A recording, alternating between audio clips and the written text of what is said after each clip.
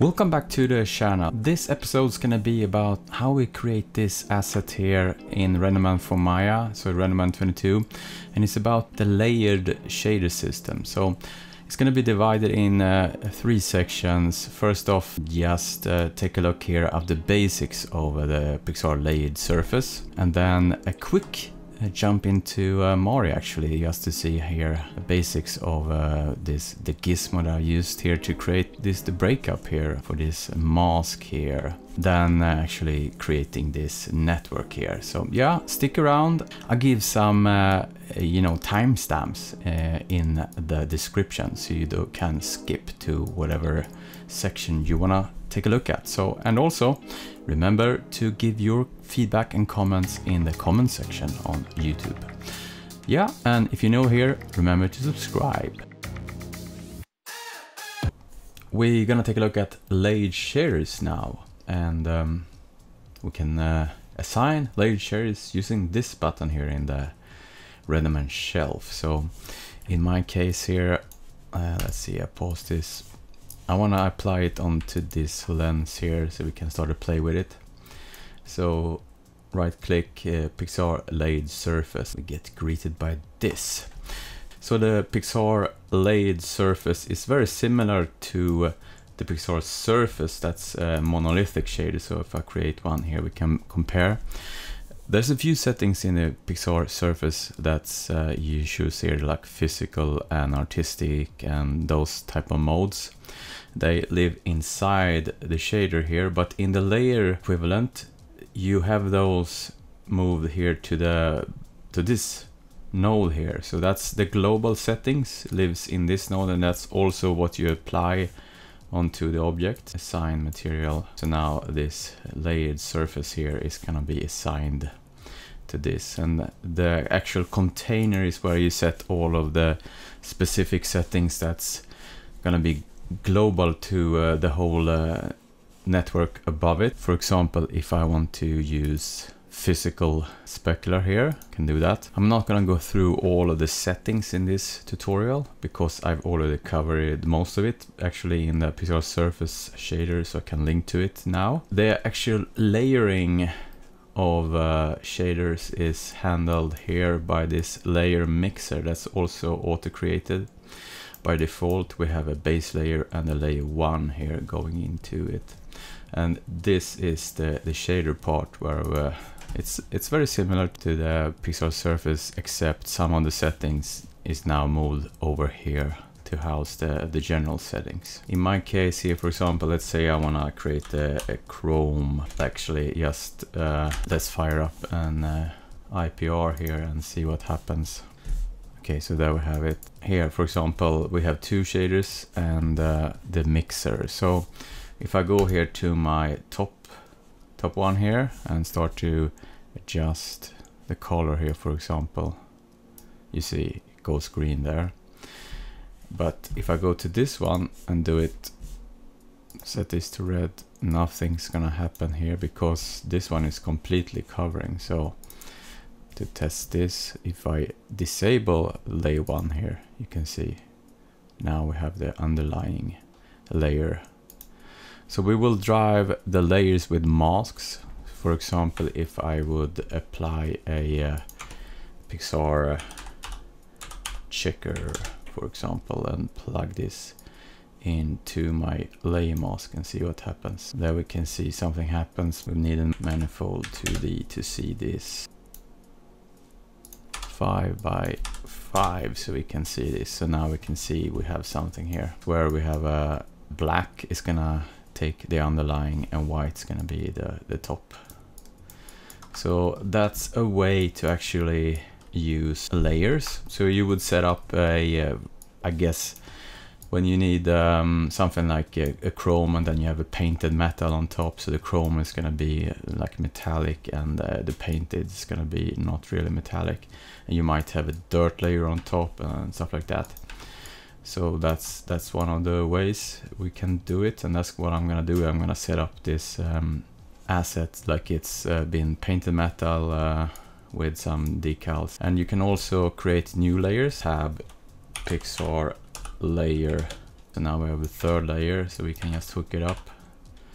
PXR, uh, PXR material out to the layer 2 and nothing happens. And that's because the um, mixer here you need to enable and then it's gonna override so now if we create this yeah so my uh, goal is now to rebuild this using uh, my uh, layered approach instead of the more monolithic approach I did before. So first off, I need a few masks. So let's quickly jump over to Mari so we can create a few and then jump back and hook it up. Okay, so here in uh, Mari 4.2 here, um, this is kind of what I'm gonna planning to use for my my breakup. So it's kind of stylized here, but so I made it, uh, a gizmo here, um, so we can like wear and tear, and we can uh, have this depending on what size, for example, of the breakup. So yeah, so it's it's driven by uh, by curvature and uh, a few masks here. This curvature node, ambient occlusion, and uh, that I'm using and blend so I can start, for example, if I want to add large breakup, have something here. And we have fine breakup here as well, it's like a more finer type of scratches. So what I do now, uh, I gonna export this out and use this as one of the masks in my layer shader. So it's gonna be wherever it's white here, I'm planning to add uh, scratches for from like uh, into the underlying metal, so to speak. Let's jump into Maya again now and uh, hook this up. Okay, so here in Maya, uh, let's just rename some of this. So this, the top one is gonna be uh, text. I wanna have a text shader. This is gonna be painted metal, double. And the this one, chrome or uh, some kind of metal. So first off, yes, let's create the, the chrome here now. So I was just want to disable uh, the, the, top two layers here and uh, make a chrome out of this. Diffuse, take this down to black. Go to primary specular and we want to enable it, set gain and uh, edge color we want physical and we can take this up. Extinction coefficient 3 or something like that. See what we got let's actually take down the roughness. So see how it's reflecting here? Let's see what happens if we set it to 4 let's take this up to 3 that's very shiny speckle. So we want some roughness. Brush type of metal here. And I also want some advanced here, go to anisotropy and make it this way. So it goes more like this. So let's say that that's the base for this, the whole thing here. So now let's actually create a bump. We can take that. So we have this, the mask here. So you remember I exported uh, a something like a mask out from uh, Mari. Browse to that. So I have uh, pre-formatted uh, this into TEX and I cover that in uh, a another tutorial. So gonna be a link in the description for that. And also by the way uh, leave your comments on future topics and stuff like that if, if you want to see. And yeah just uh, hang out and give feedback. That's very much appreciated do you like layered shader for example or do you do uh, uh, everything in as one texture? I wanna know how you approach stuff if you use it. So mask texture and um, we want to enable now here the painted metal layer. So it's gonna be green at the moment so let's take care of that. So we want a neutral something like dark but not super dark because if I level this up I want some uh, because if you go here and now set this to zero you see it's gonna completely die. So you want you want some values in the in even in the lower because when you start to expose this up you want it to follow the exposure. You see here I overcranked the gamma. Set this back and if I would take exposure you see now it's completely white so we want a little more in this maybe something like that. I have a noise reduction that's why it goes a little funky in the beginning there. So the color 10 there exposes up and now we start to follow. You don't want it to be like a black hole there when you expose it up. So now we have some values there so let's let's see here now let's do a um, primary specular here. So this is gonna be like a painted uh, varnish on top. So we want edge color here. So we get more like a uh, plastic coating and uh, refraction index. I think it's fine by 1.5 there pan around. So now we want to start to reveal the the underlying metal here. So that's why when we can use this one my mask here. So let's hook up um, the red channel here into the layer 1 mask and see what happens. You see here it's it's the wrong way around. The levels here is uh, or the values is reversed. So we have to first reverse it. So pixar invert to see here. We can take this into there red now. Let's take off solo. Well now we have something here. We can see we have uh, so the shipping there if I zoom in here and just give it a few seconds. So what we can do is actually uh, also let's actually hook up a uh, first clamp Pixar I like to clamp my masks it's always a good idea to do that. And uh, Actually, I wanna have an exposure in between. I might wanna boost this, but I don't want to have uh, something above one still. So, so with the exposure, I can start to gain up my mask, but I I want it to uh, be clamped be between zero and one because otherwise the mask can start to look strange. So now let's let's see. Let's see what did happen there. Something happened. Did I? Connect the wrong thing there. Yeah, I did. Yeah, okay. Let's clean this up, just scoot this over a bit. Okay, so there we go. Now we have um, something going here, so now we can start to expose this up if we want more or less. So we can take away, and actually I want to do this before I invert it. Let's try that. I think that's actually a better idea because otherwise it's going to be uh, reversed. So I don't want to do that. And I want to clamp it. This should get a, a better setup for me I think. So let's see what happens now. If I start to expose this up I should get more yeah there we see I get more of the scratches. Because I'm actually if I look at this exposure node here we can see what happens uh, if I can select it. So yeah, by default it's set to zero. So that's the incoming. If I expose it up now, we're gonna get more.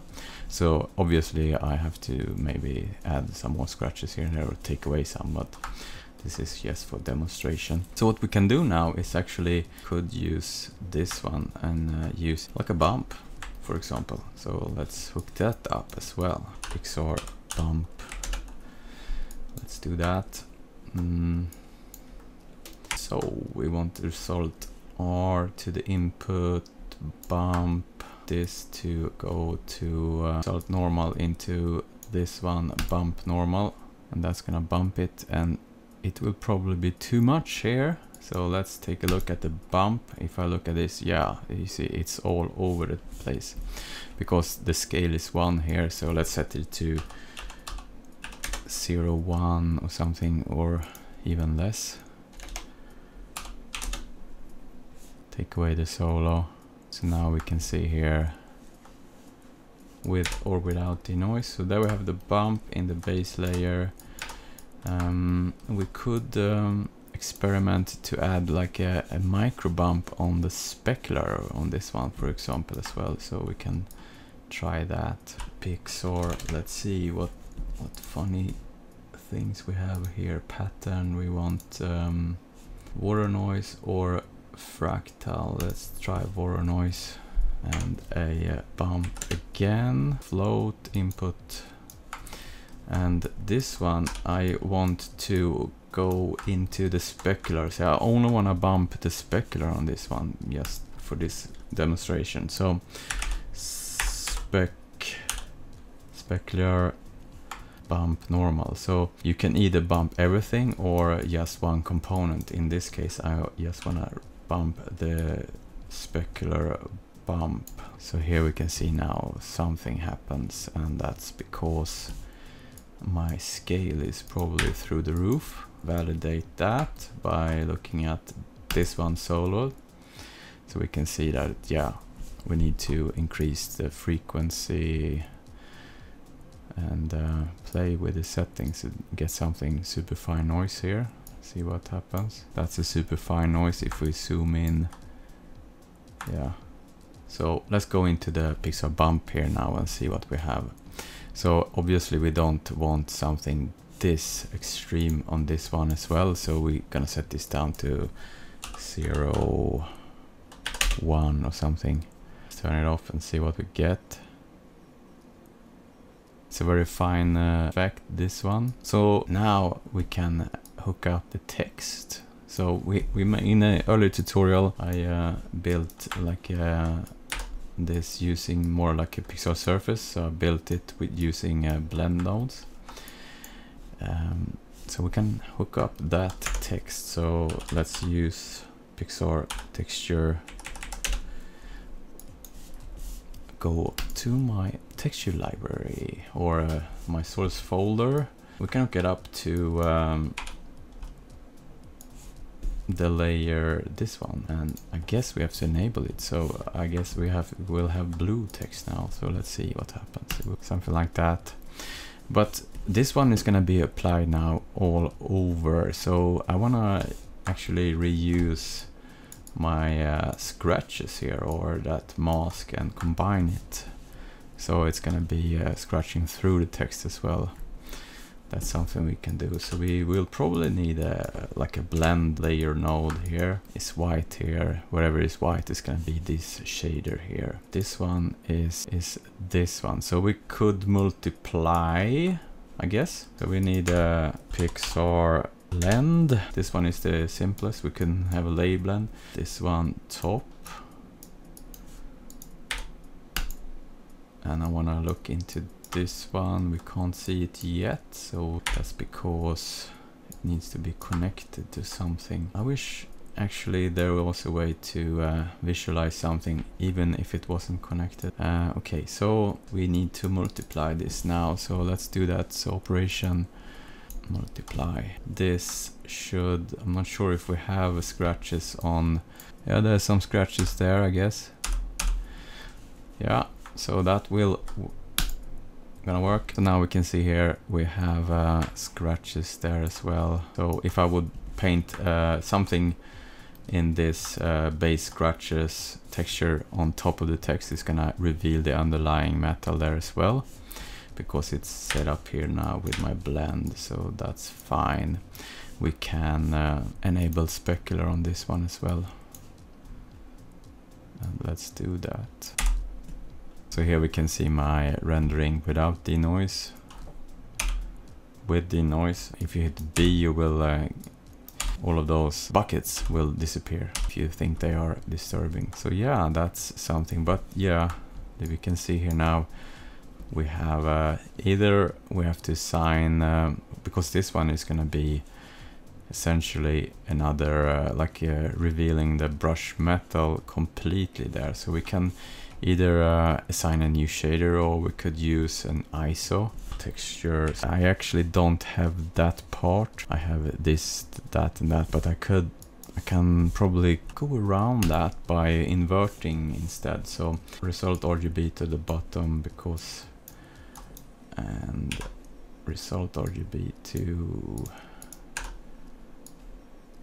this one. So now we have it in between here. And now temporarily it's gonna be strange here because this one has black in the top layer. So we can either just take the top alpha down here temporarily.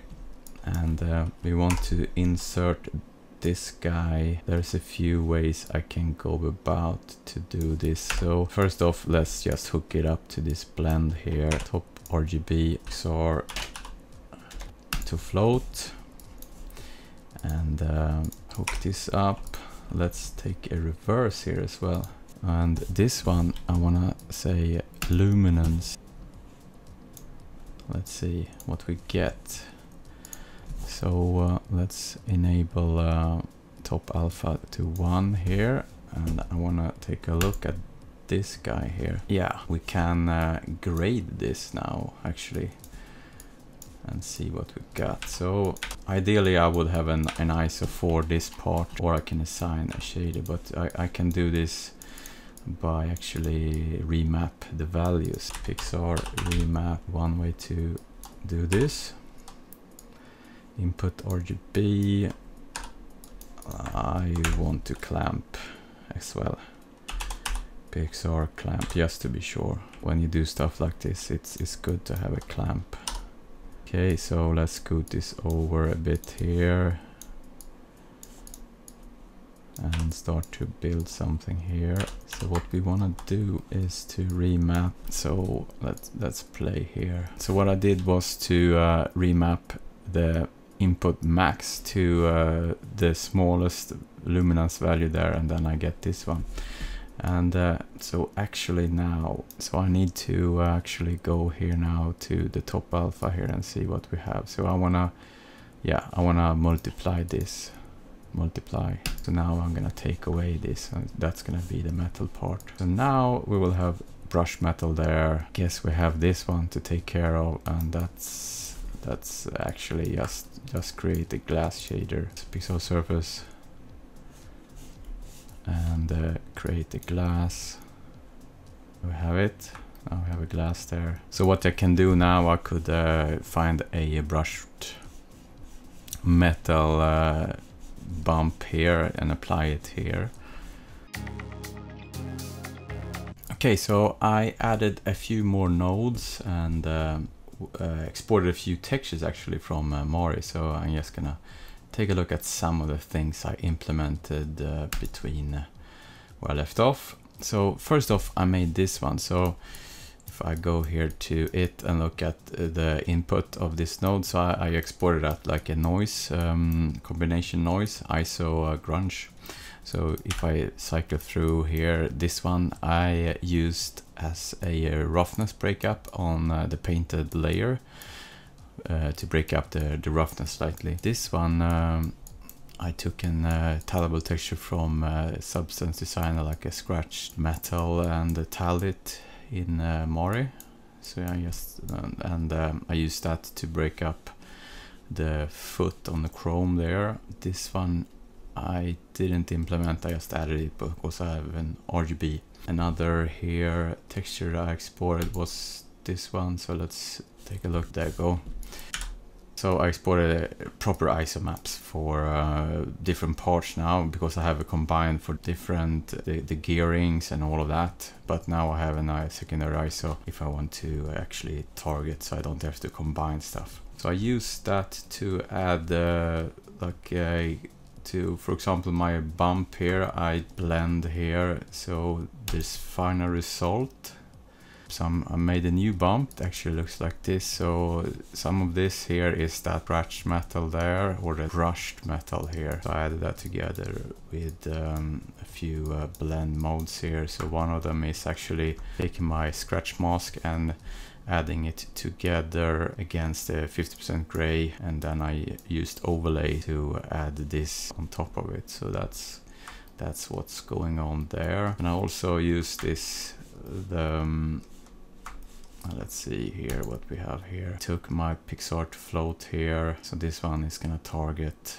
one of the channels. So this one I just break out the one I use for the roughness breakup. Bottom RGB is the, the roughness value and the top I use as a breakup with that pattern. That's just a, a slight breakup of the specular roughness. So in my case it looks kind of funky here but because I only use the the red channel so it's this channel is my roughness for that shader So yeah, um, that's kind of what I did to finalize it.